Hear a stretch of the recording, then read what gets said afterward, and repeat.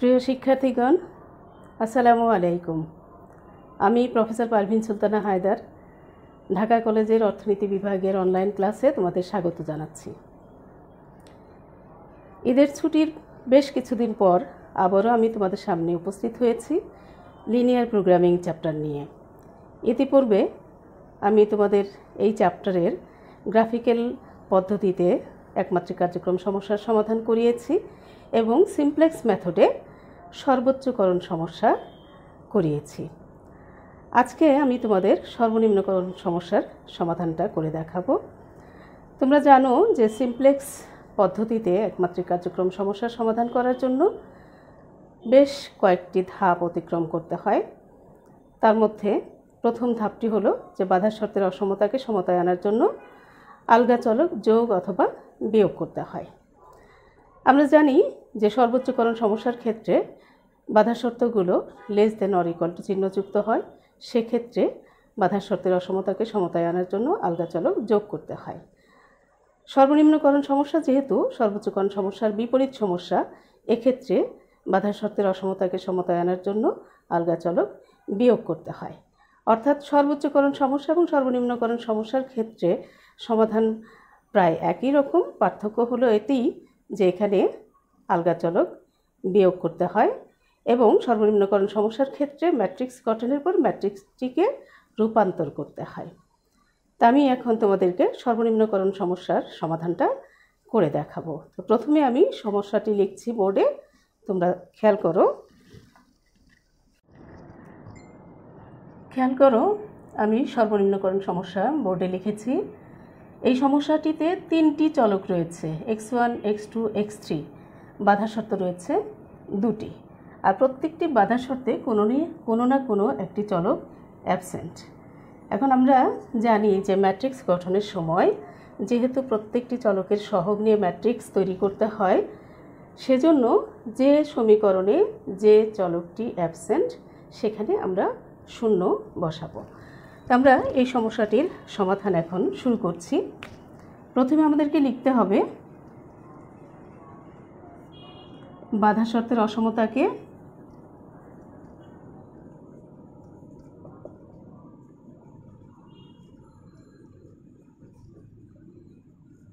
সমতায় আনার জন্য আলগা চলক বিয়োগ করে পাই। বিয়োগ করে এখানে আরেকটি কথা তোমাদেরকে বলে নেই যে সিমপ্লেক্স মেথডে যে কয়টি স্টেপের কথা বলা হয়েছে, প্রথমে হলো বাধা শর্তের অসমতাকে সমতা আনার জন্য আলগা চলক বিয়োগ করতে হবে। তারপরে আলগা চলক বাদিকে রেখে সমস্ত মৌলিক চলকগুলোকে ডান দিকে স্থানান্তর করতে হবে। তারপর বাধা শর্তের স্থির মানের সাথে সামঞ্জস্য রেখে উদ্দেশ্যমূলক অপেক্ষকে একটি শূন্য বসাতে হবে।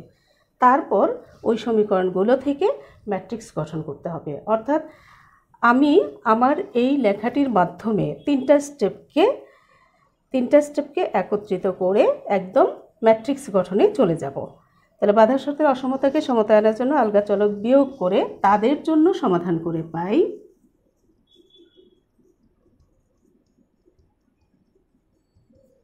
তাদের জন্য সমাধান করে পাই।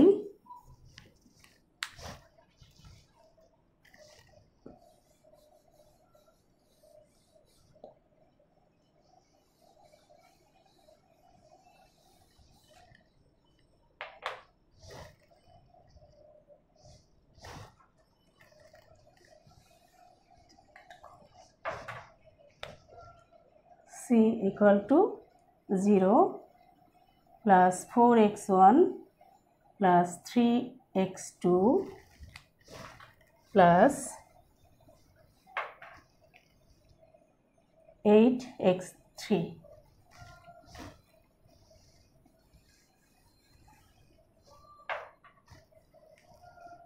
এক্ষেত্রে আমরা আলগা চলক বিয়োগ করি। সাধারণত বিয়োগ করা হয় যে চলকগুলি, সেগুলোকে l one l two l three three ইত্যাদি দ্বারা ডিনোট করা হয়, এক্ষেত্রে আমি প্রথম সমীকরণ থেকে এল ওয়ান বিয়োগ করছি এবং আলগা চলক বাদিকে রেখে সমস্ত মৌলিক চলকগুলোকে ডান দিকে নিচ্ছি।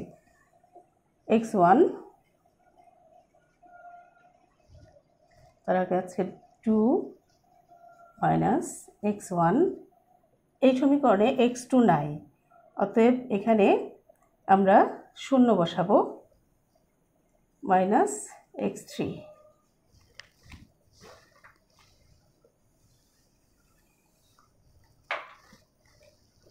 দ্বিতীয় সমীকরণ l two five minus x one নাই zero minus x two minus two x three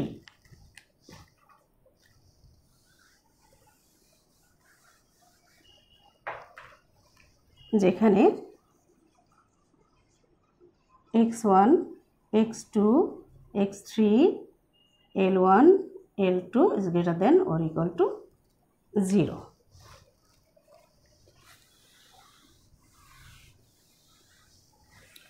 এখন উপরোক্ত সমীকরণগুলোকে ম্যাট্রিক্স আকারে সাজিয়ে পাই।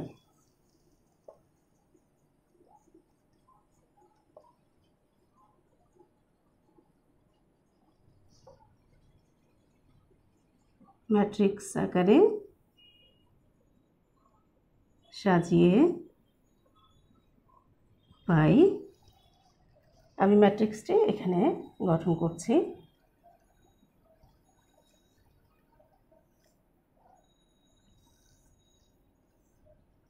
স্থির মানের জন্য ওয়ান আর এদিকে আছে x one x two x three এদিকে c minus l one l two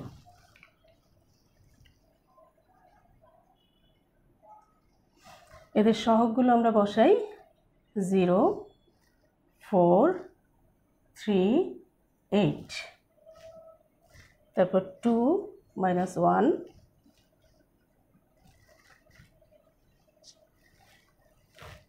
zero minus one five zero minus one minus two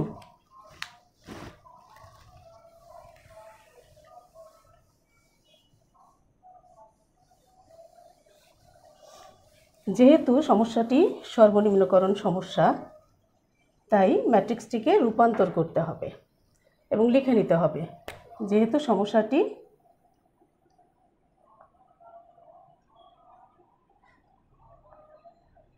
সর্বনিম্নকরণ সমস্যা।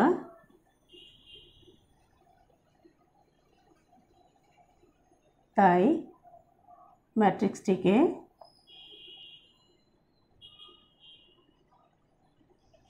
রূপান্তর করে পাই।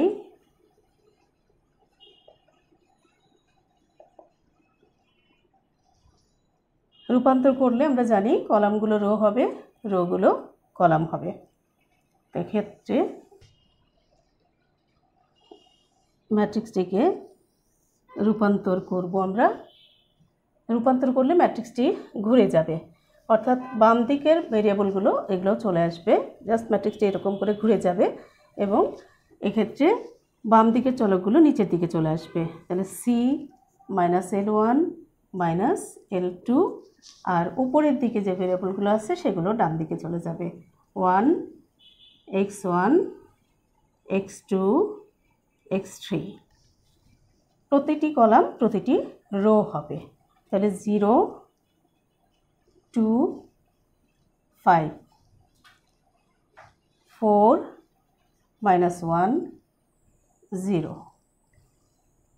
three zero minus one eight minus one minus two matrix তৈরি করার পর আমাদের প্রথম কাজটি হলো পিভট কলাম নির্ণয় করা।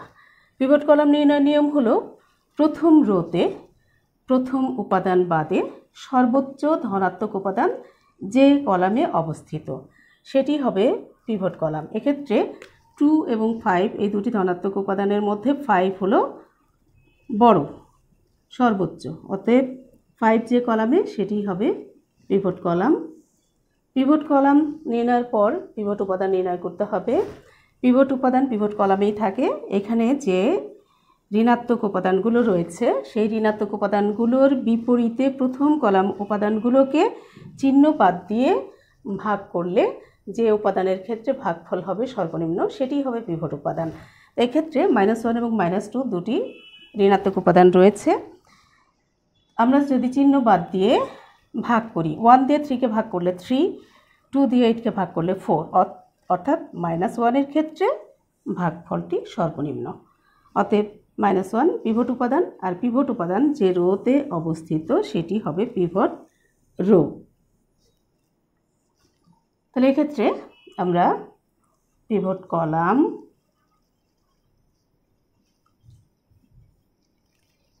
পিভট এলিমেন্ট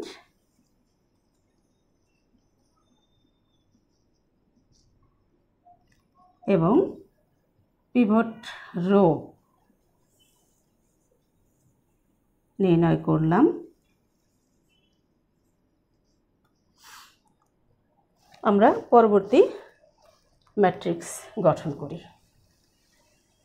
পরবর্তী ম্যাট্রিক্সে পিভট রো এবং পিভট কলামে ভেরিয়েবল দুটো স্থান বিনিময় করবে। পিভট উপাদানের মানটা উল্টে যাবে। তারপর পিভট উপাদান দ্বারা পিভট কলাম উপাদানগুলোকে ভাগ করে ভাগফল যা আসবে তাই বসাতে হবে।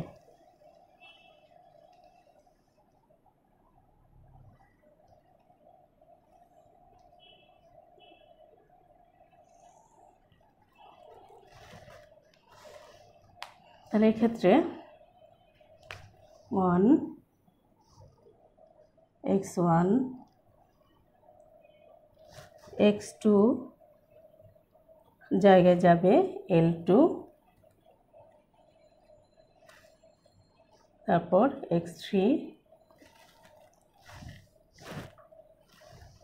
এদিকে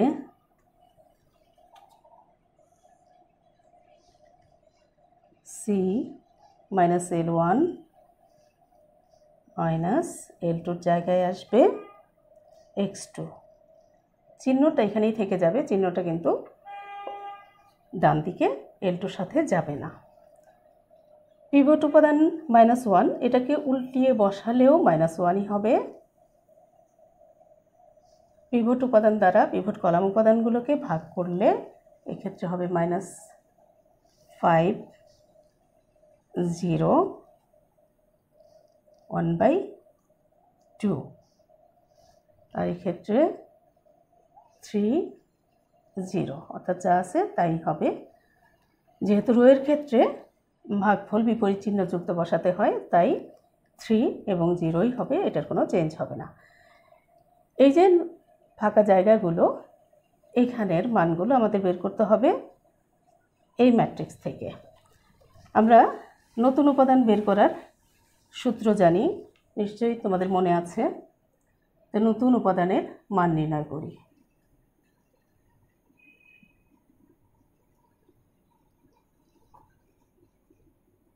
নতুন উপাদানের মান নির্ণয় করি। প্রথমে এই উপাদানটাকে আমরা লিখি a one one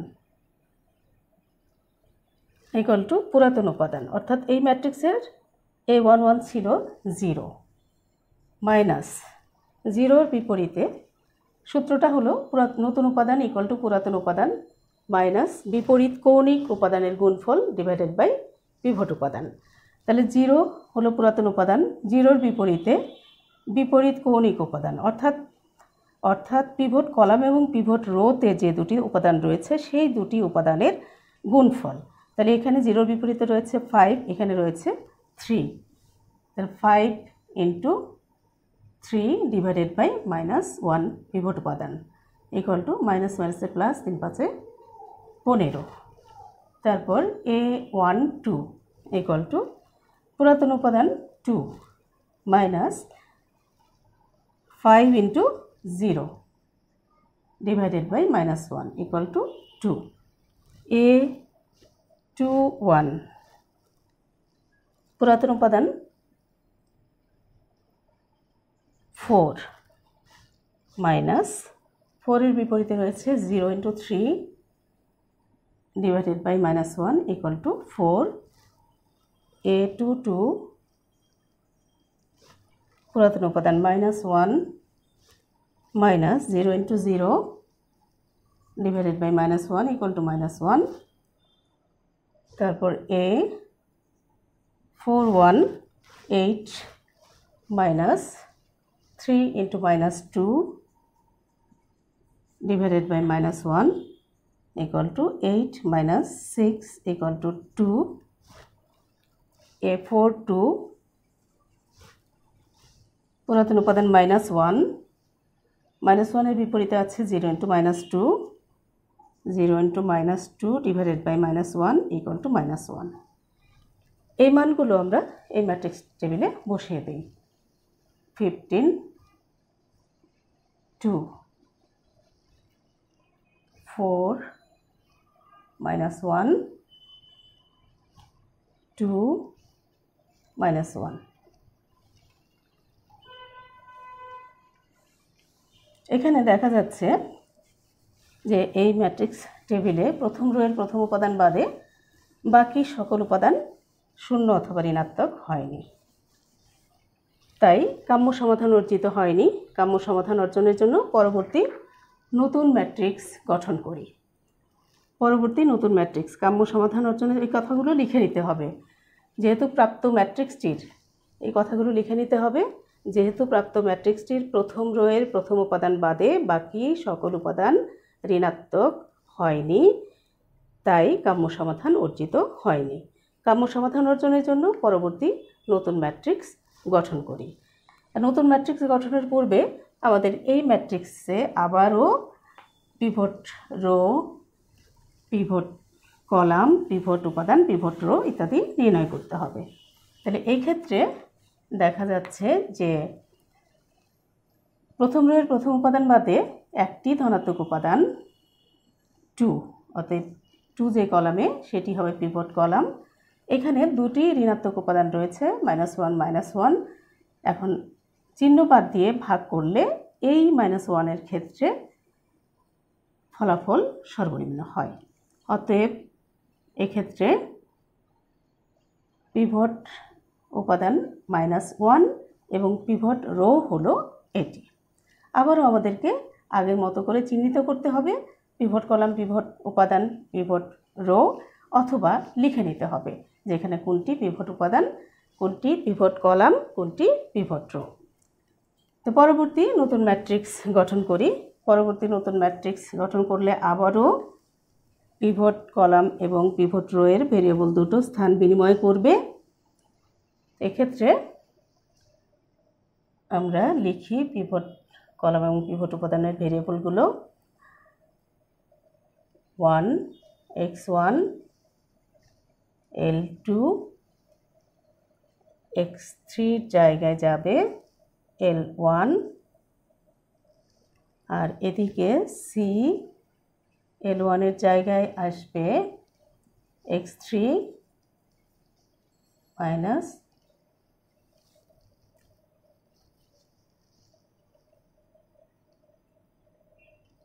sorry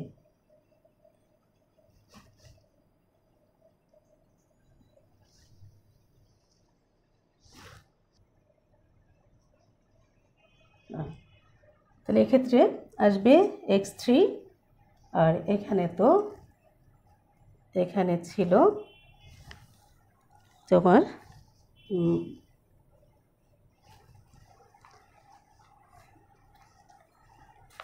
x three এখানে আসবে আর এখানে এক্স টু ছিল। এই, এখন মানগুলো আমরা বসাই।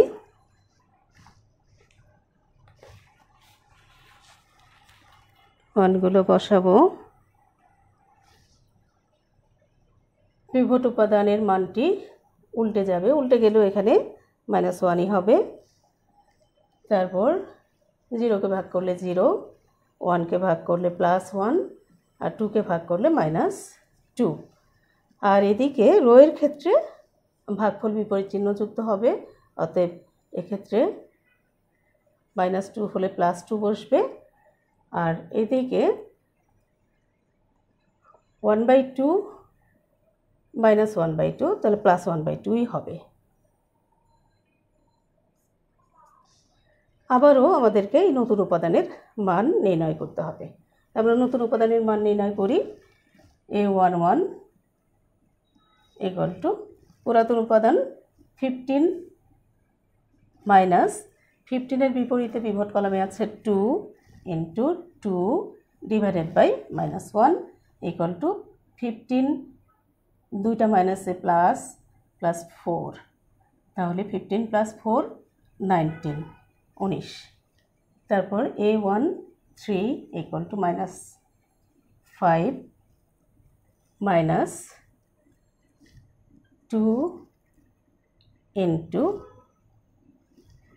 half divided by minus one equal to equal তো এখানে হবে minus five minus minus five plus four equal to minus one তারপর a two one equal to পুরাতন উপাদান ফোর মাইনাস ফোরের বিপরীতে আছে minus one into two divided by minus one equal to four minus two equal to one a two three equal to zero minus জিরোর বিপরীতে minus one into one by two divided by minus one equal to minus two তাহলে এই মানগুলো আমরা এখানে বসাচ্ছি, উনিশ minus one এখানে হলো এ টু ওয়ানে one a two three minus two একইভাবে আমরা a three one a three one three one বের করলে এখানে আসে থ্রি তোমরা বের করে নিও। এ থ্রি থ্রি এটা আসে মাইনাস ওয়ান তাহলে এখানে আমি বসাচ্ছি থ্রি মাইনাস ওয়ান তাহলে এক্ষেত্রে দেখা যাচ্ছে যে প্রথম রোয়ের প্রথম উপাদান বাদে বাকি দুটি উপাদানই ঋণাত্মক হয়েছে। অতএব কাম্য সমাধান অর্জিত হয়েছে। এই কথাগুলো লিখতে হবে। যেহেতু প্রাপ্ত ম্যাট্রিক্সটির প্রথম রোয়ের প্রথম উপাদান বাদে বাকি সকল উপাদান ঋণাত্মক হয়েছে, তাই কাম্য সমাধান অর্জিত হয়েছে। কাম্য অবস্থায়